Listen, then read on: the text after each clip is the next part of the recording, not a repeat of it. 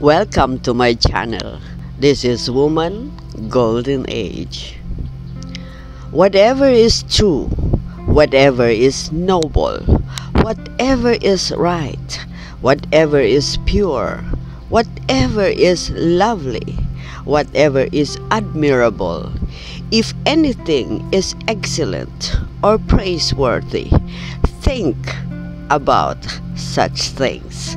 So the verse in Philippians 4 8 says, In my art and in my work, I see the gift that God has graced me with. Art and design is one of the channels that God has led me to find depth of expression. It is as I study His Word that I find inspiration. It is as I express my faith and joy in painting and design that I seek to upload the Jesus Christ that I follow and live for. I began to paint and create art pieces over 13 years ago. 20 years prior, I was into significant practical and actual experiences in art and design, developing creative concepts for a wide range of structures and settings, including furniture, store and exhibit spaces, theme and period based playhouses, clothing and fashion accessories design collections, arts and crafts such as the Philippine miniatures, leaf dishes, and home accents. Over the years, graphics, fine arts, as well as literary art forms were explored. I studied Bachelor of Science in Psychology at the University of Santo Tomas in Manila, Philippines. Passion for creative arts, however, urged me to finish interior design at the Philippine School of Interior Design. Friends call me Lyn, but I was born Maria Lourdes Nicol on the 12th of February 1957.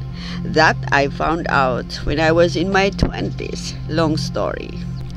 For today's vlog post, you will find a compilation of some of my paintings. I have included some comments, quotations, excerpts, and Bible verses that have inspired me to create them. May they inspire and bless you as well. Thank you so much for your time. May God bless you beyond measure.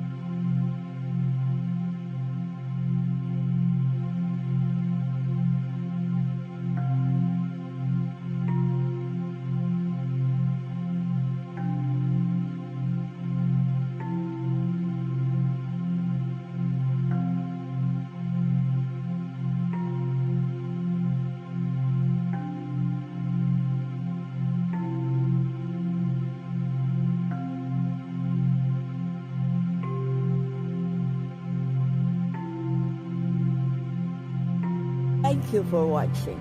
Your likes, comments, suggestions, subscribes, and shares are very much appreciated. See you in my next video.